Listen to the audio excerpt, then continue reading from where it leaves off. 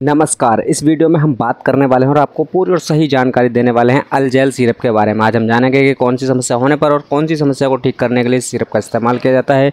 इसको लेने के बाद कौन कौन से नुकसान हो सकते हैं, यानी कौन से साइड इफ़ेक्ट देखने को मिल सकते हैं और इसके क्या फ़ायदे होते हैं, किस प्रकार से इसको इस्तेमाल करना है, इसका डोज किस प्रकार से लेना है और इस सिरप में कौन सा साल्ट कम्पोजिशन पाया जाता है। तो भाई, अलजेल औरल सस्पेंसन सिरप में कितना है, दम क्या है, कम सब बताएँगे हम। आइए वीडियो को शुरू कर लेते हैं।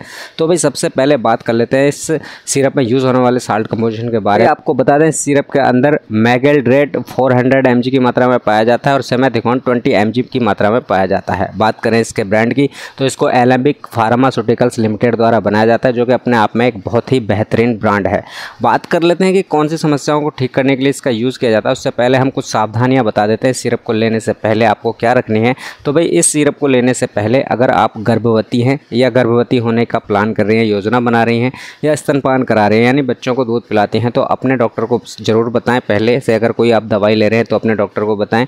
अगर आपको किडनी से जुड़ी कोई बीमारी है तो भी आपको अपने डॉक्टर को बताना चाहिए, या लीवर से जुड़ी कोई बीमारी है तो भी अपने डॉक्टर को बताएँ सिरप को लेने से पहले, ताकि आपको उपयुक्त खुराक मिल सके। अब बात कर लेते हैं इसके यूजेस की।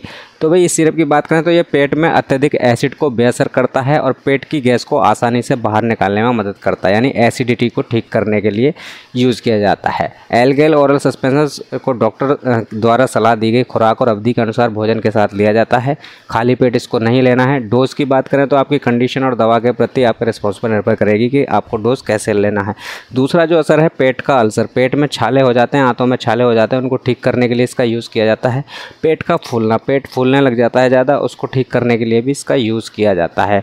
आपको बता दें, अलजेल औरल सस्पेंसन आपके पेट में अत्यधिक एसिडिटी से राहत देता है। पेट के अल्सर में काम करता है, पेट का अल्सर खतरनाक घाव होते हैं, जो पेट या गट यानी कि आंत की आंतरिक लाइनिंग में विकसित होते हैं।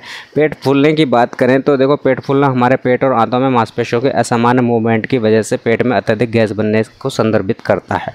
तो पेट के फूलने को ठीक करने के लिए इसका यूज़ होता है, पेट के अल्सर यानी छाले को ठीक करने के लिए इसका यूज़ होता है और एसिडिटी को ठीक करने के लिए सिरप का यूज़ किया जाता है। बात करें कि इसको लेने के बाद कौन कौन से साइड इफ़ेक्ट देखने को मिल सकते हैं?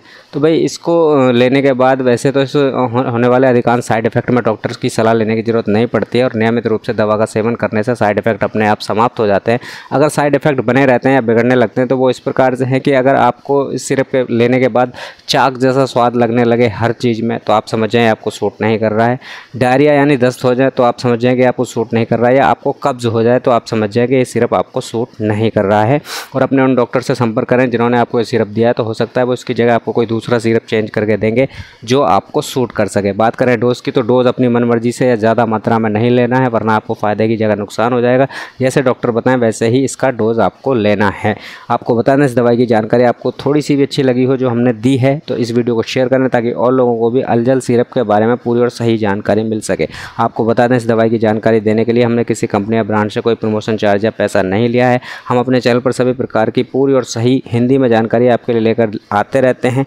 आप भी चाहते हैं सभी प्रकार की दवाइयों की पूरी और सही जानकारी हिंदी में पाना तो यार हमारे चैनल को सब्सक्राइब करके ज़रूर जाना।